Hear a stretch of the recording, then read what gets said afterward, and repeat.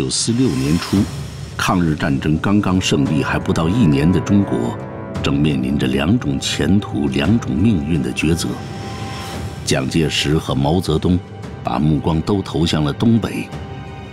为了争夺这个工业最发达、土地最肥沃的地区，国共两党都投入了最强的力量。国民党军队依靠武器和兵力的优势，在东北南部战场取得了主动。共产党在当年四月二十八日，解放了北部重镇哈尔滨，双方在东北往来厮杀，拼死相争，鹿死谁手，难见分晓。哈尔滨，共产党占领的第一座，也是唯一一座大城市，目前城里各方势力盘踞，能不能保证社会治安的稳定，关系到全国民众对共产党的信任。中共中央对此极为重视。特此委派中央社会部治安科科长程强赶赴哈尔滨，担任刚刚组建的哈尔滨公安局局长。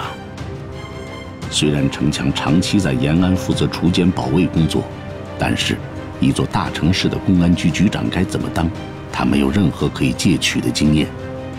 想到将要面对的无比凶险复杂的局面，程强的心里既是兴奋的，又是忐忑不安的。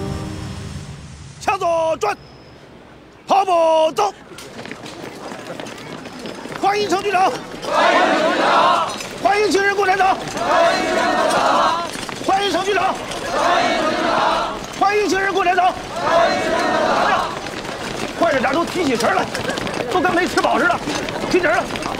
哎呀，鞋都颤。哎，瞧你那个形样，快点快跑，快，快跑！原地踏步，走。二一，二一，向左向右转，这就对了，这才像咱哈尔滨警察，对吧？这才是东北爷们儿啊！记住了，要热情洋溢，要慷慨激昂，笑容呢？笑容在哪里？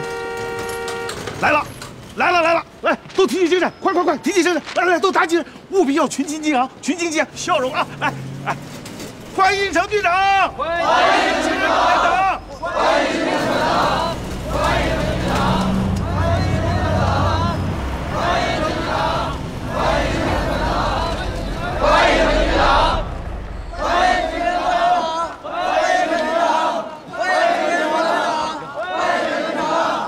您是程局长吧？啊，是啊。您是，鄙人赵路维，哈尔滨警察局副局长，赵副局长。哎，你好，哎，您好，您好。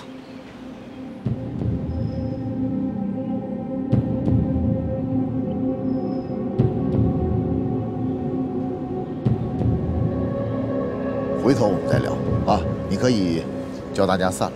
好，好，好，好。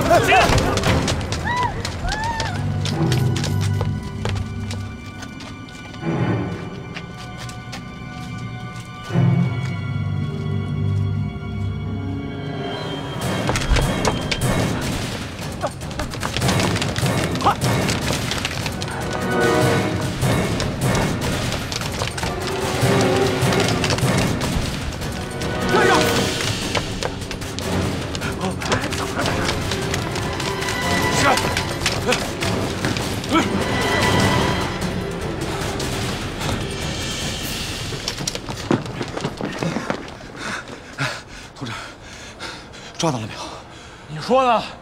不是同志，你千万别误会啊，这人肯定不是我们的人，一定是混进来的特务。是不是？我们会调查清楚。起开！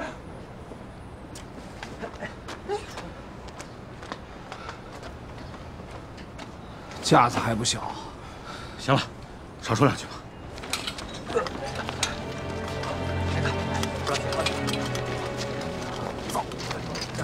请现场。走走，快走，快！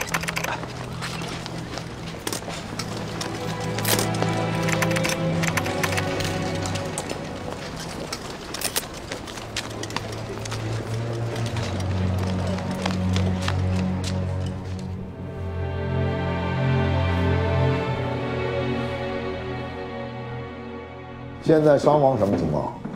正在统计中。每支斯普林菲尔德狙击步枪子弹，只有军统有这种装备。没错。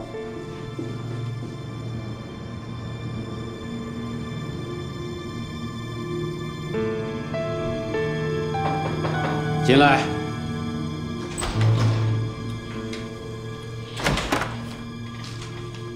院长，滨江组呢没有回信，刺杀行动可能不太顺利。以后滨江组的事不用咱们管了。啊？嗯。齐道龙总督察刚刚通知我，毛局长派特派员已经前往哈尔滨，滨江组归特派员领导。凡事不必请示我们长春站，那不是要绕开咱们的意思吗？这是不信任咱们长春站。总部不是一直怀疑咱们长春站有共党卧底吗？这不奇怪呀。哎，不管也罢，咱们呢，少操这份心。那他说没说特派员是谁？那是机密，我估计连他自己都不知道。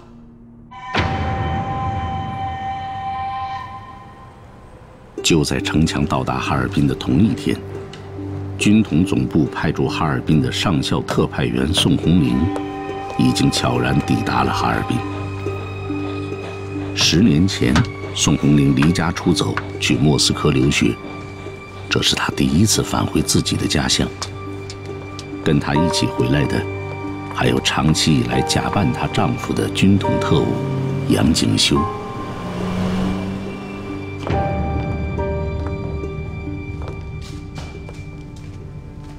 不好意思，阿伟，被您打烊了。去年秋天收的柴胡，你这儿有吗？只有前年的沉香了。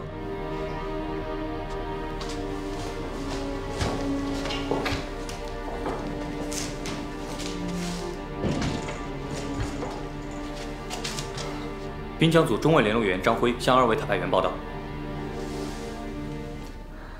我现在要见滨江组全体同志。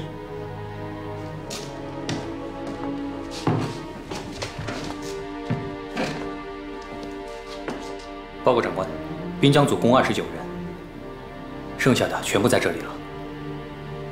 请总部上校特派员宋红林训话。诸位请坐。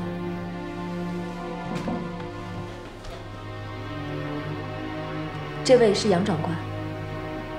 大家好，我是杨景修。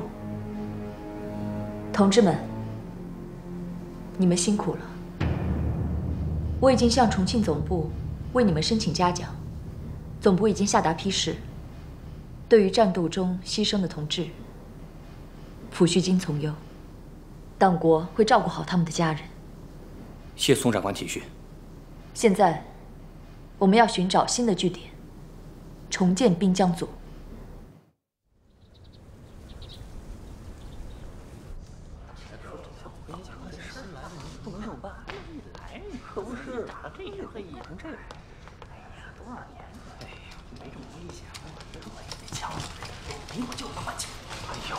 真的，差点往这哪！快点，那人是命大。向左向转。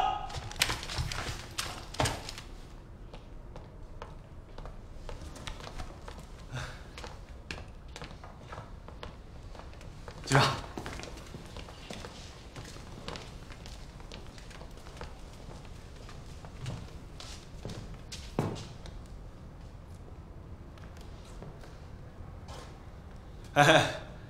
呃，今天呀，咱们公安局局长程强先生正式上任，让我们用最热烈的掌声欢迎他。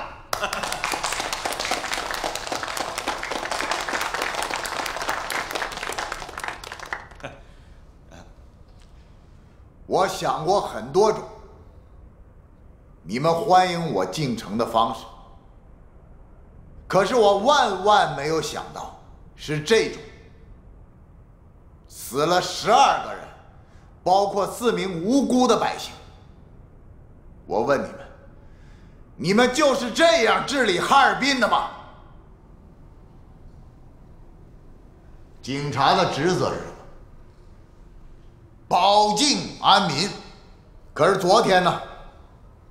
光天化日之下，在警察局的大门口竟死了十二个人。你们说，你们都是干什么吃的？我不管你们以前是给日本人做事，还是给国民党做事，从今天开始，我告诉你们，如果谁要是跟我们的队伍不是一条心，昨天死去的这些人的账。我就从你们身上要回来。不信，咱们就试试。我问你们，昨天的内保谁负责的？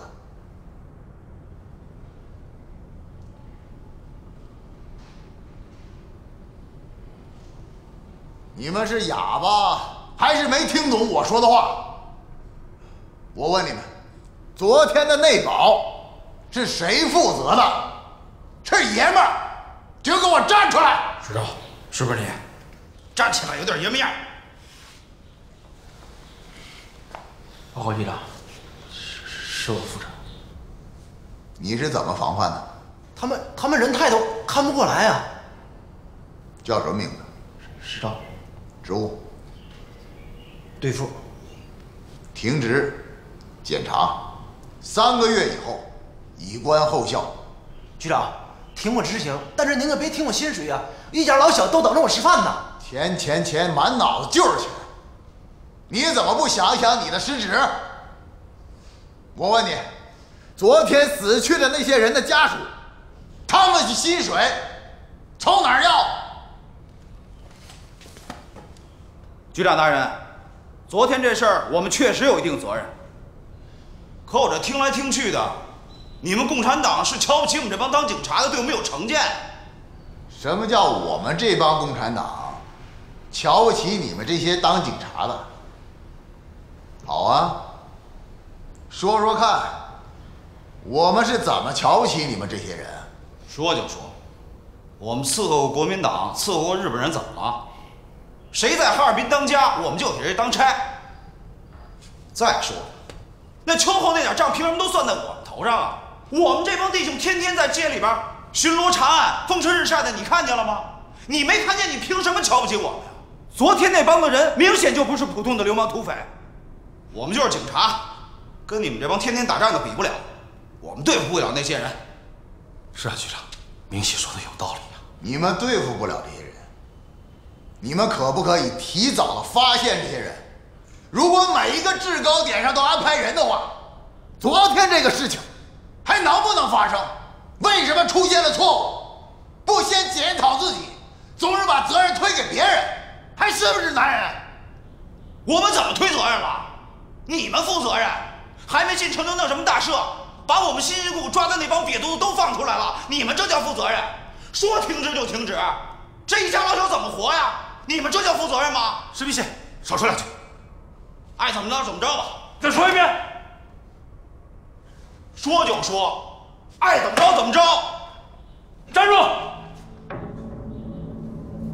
我站住了，怎么着？你说怎么着？跟我玩流氓习气那一套是吧？吴征，把他给我关起来。是。哎，别，局长，哎，您别生气，他就是个愣头青，他他不懂事儿，你千万别跟他一般见识。我告诉你们，从今天开始，你们谁敢跟我们玩混的，我程强就跟你们奉陪到底。哎，书记，这都什么事儿啊？什么叫敌人的敌人就是我们的朋友？啊，监狱里都是些什么人？都是作奸犯科的犯人，怎么都能放出来啊？好，我们见面说，啊。哎，这不胡闹吗？把监狱里的人都放了出来，现在哈尔滨都乱成一锅粥了。我们从延安就来了一百多个人，现在人手都不够用了。局长，我倒觉得这些伪警察可以用。你看今天石明喜他敢跟您对着来，这也算条汉子。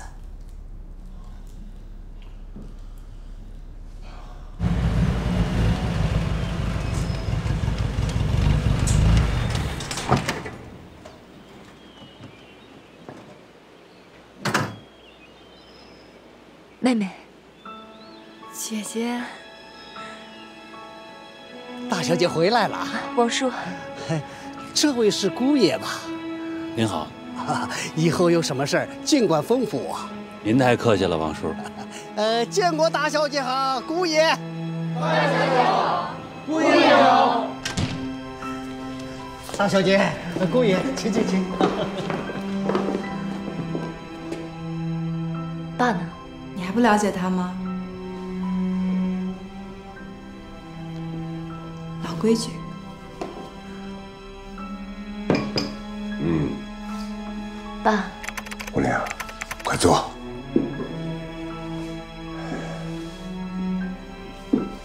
爸，我和红玲结婚的时候，常德被日本人给占了，邮政不通，事先没有向您老禀报，望您见谅，在这儿。给您补个礼。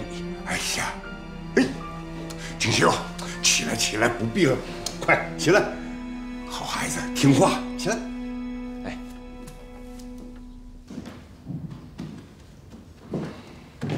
哟，赵副局长，程局长，哎，有什么事吗？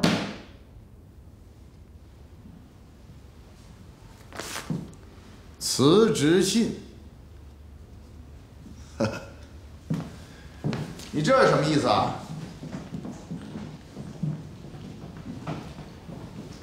程局长，我赵某人在哈尔滨当了快七年的警察局副局长了，昨天发生这么大的事儿，我难辞其咎。我觉得这个副局长还是由贵党的内部人士来担当的好。我看吴征老弟就不错。赵副局长，你这字儿写的不错。啊啊！谢谢局长夸奖。你要辞职，我很有压力啊！啊，哎，你是不是想给我一个下马威啊？不敢不敢不敢，张局长您多想了。石明喜这些人，巡逻抓贼，保境安民，甚至于你让他出城剿匪都可以，但是就是不懂得尊重领导，散漫惯了，这都是因为我领导无方啊。嗯，哎。是这样啊，昨天这个事儿谁对谁错，咱先不说。你辞职，我不同意。还有就是，石明喜同志这个事儿呢，我一定会给你一个满意的答复。赵局长，你呢，长期治理哈尔滨，很有经验。你比如说烟馆、赌场、妓院。你都很熟悉啊，也有治理他们的心得，对不对？我希望我们以后在长期治理哈尔滨的过程当中，你还得多教我几招啊！啊，岂敢岂敢！好，那我就暂且留下，请您以观后效。这就对了啊！来，收起来。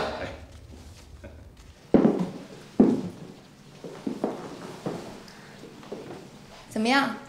这房间跟以前一模一样。我这个女儿红玲啊，主意大，啊，自个儿拿主意去莫斯科上了医科大学不说，这么多年了，她在外边做的什么，从来不跟我说。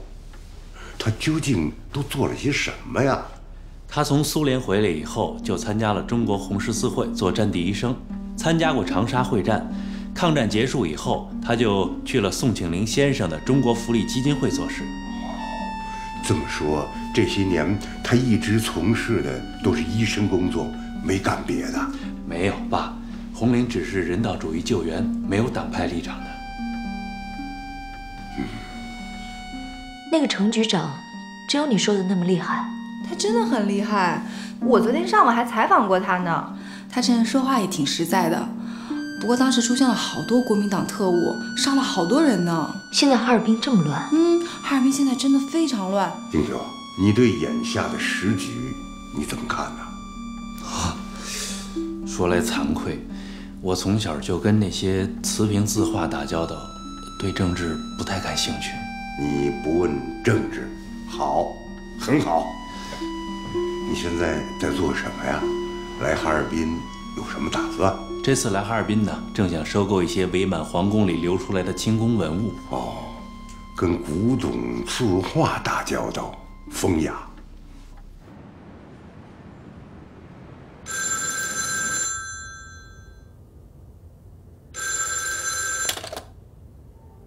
喂，喂，程局长吗？我是赵路维呀，有个事情跟您请示一下。哈尔滨工商总会的会长宋博阳先生的女儿宋红玲和女婿从上海回来了，宋会长要为女儿女婿举办一个欢迎酒会，邀请各界名流前往参加，特意请您参加呀，您看我怎么回复啊？喂，程局长。喂。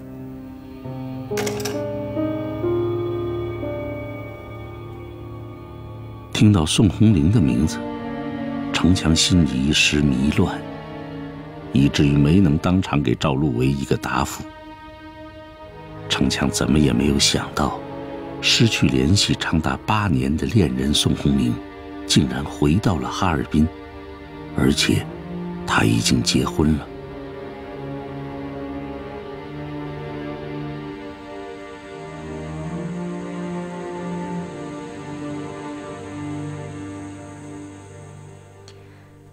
又要委屈了，我怎么有一种连升两级的感觉呢？这还真是头一次跟宋长官睡在同一水平线上。抱歉，让你睡了几年地板。你知道我愿意的。锦绣，我有些担心，我们的任务会给我爸和妹妹带来危险。你放心，不管发生任何事情。我都会保护好你的家人，早点休息吧。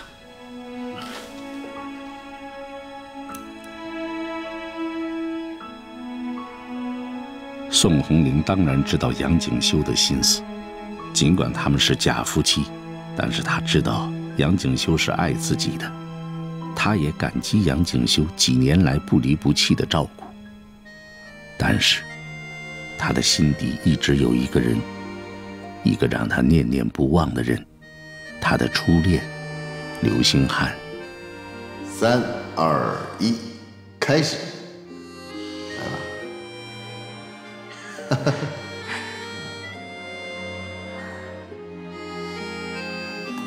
怎么样？好看吗？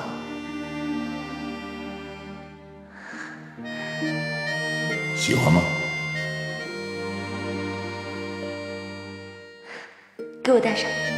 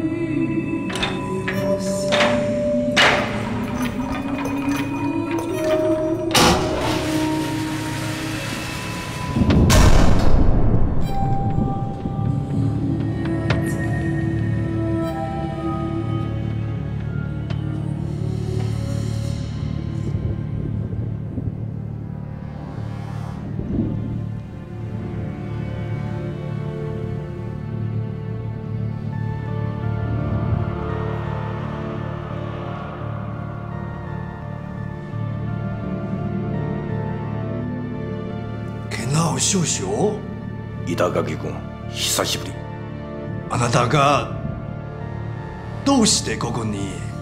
もし武器を隠してる場所を教えたら逃がしてやってもいい。武器は大日本帝国のものだ！お前らは負けた。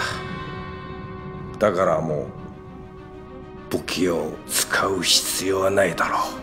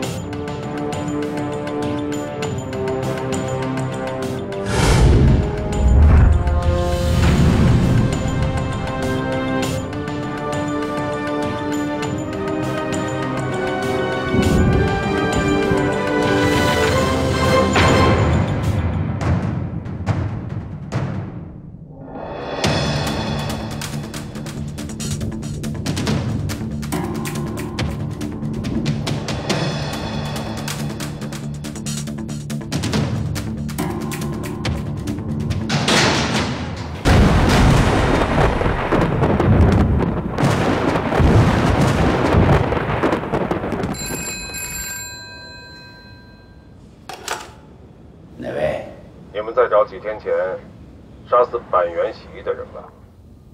怎么？你知道谁是凶手？我叫金宇轩，满洲国保安局情报少将。你应该知道我。当然，在汉奸的名单上少不了你金宇轩少将。你想说什么？板垣喜一是我杀的，用的匕首，伤在腹部。金先生为什么要杀自己的同事呢？为了一个秘密。什么秘密？板垣的军火。什么板垣军火？去年苏联人打进来，关东军有三批军火来不及转移，就地掩埋在哈尔滨市郊。指挥策划掩埋行动的就是板垣。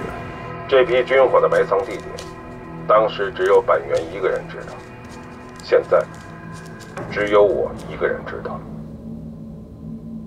你想干什么？换钱。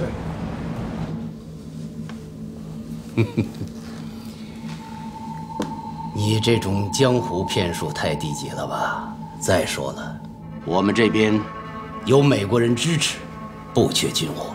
韩站长，这可是一批能够装备一万人军队的军火。知道，你们现在在东北，跟共产党打成了焦灼之势。你不希望我把这批军火卖给共产党吧？你想要多少钱？市价的一半，两百根金条。韩站长，我知道这么大的事儿你做不了主。上报重庆，让他们把钱给我准备好。我会再跟你们联系的。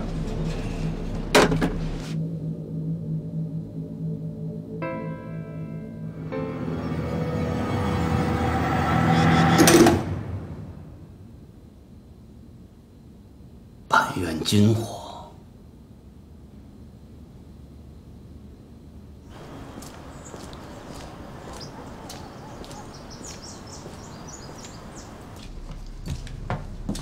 老板来盒烟。哎，关先生，还是老刀啊，其他的劲儿太大。您稍等，太太给您包好了。谢谢。您走好。老刀。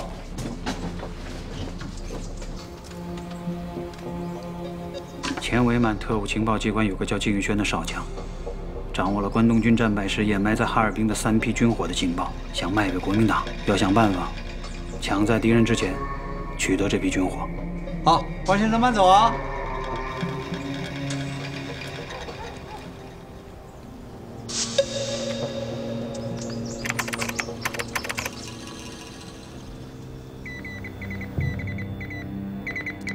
程强很快收到沉睡者发给延安总部的情报，总部命令程强尽快起获板垣军火。程强太清楚板垣军火的重要性了。此时如果能获得这三批军火，将极大的改变我军在东北南部战场上的被动局面。而一旦被国民党抢得先机，今后的局势将会更加困难。他决定把取得板垣军火当做目前首要的任务。赵部长，今天晚上呢，我们要进行一次全城的大搜捕行动。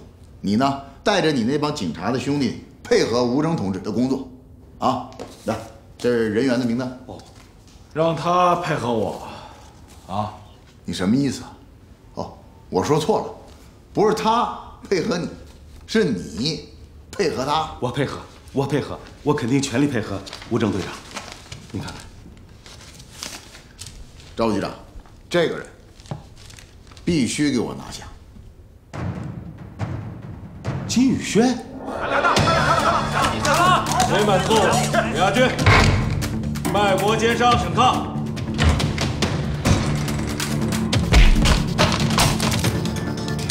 你得跟我走呀！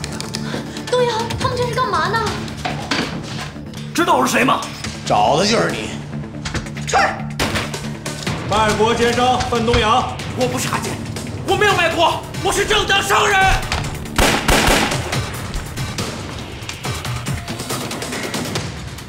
都抓了七十多个了。金宇轩有线索？没有。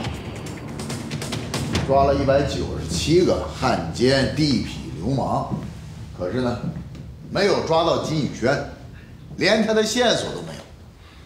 算胜利吗？程局长，这个金宇轩是伪满特务机关的少将，精得跟猴子一样，这种大规模的搜捕，恐怕很难奏效啊。这还用你说？金宇轩要那么好抓，他也做不了那么大生意，知道吗？什么声音？吴征，你怎么跟赵副局长说话呢？啊，不管怎么说，他也是你的领导，你赶紧给我道个歉，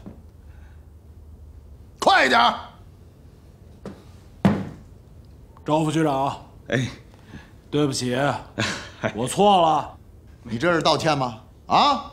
你这是道歉吗？没关系，没关系。赵副局长，我错了。哎呀，你看，你看你，没关系，没关系。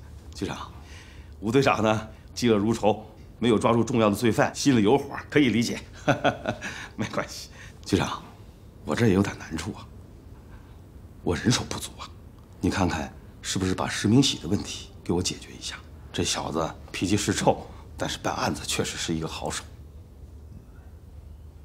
好，我尽快解决一下。好，好，好，呃，要不要给金宇轩下个通缉令？我再考虑考虑。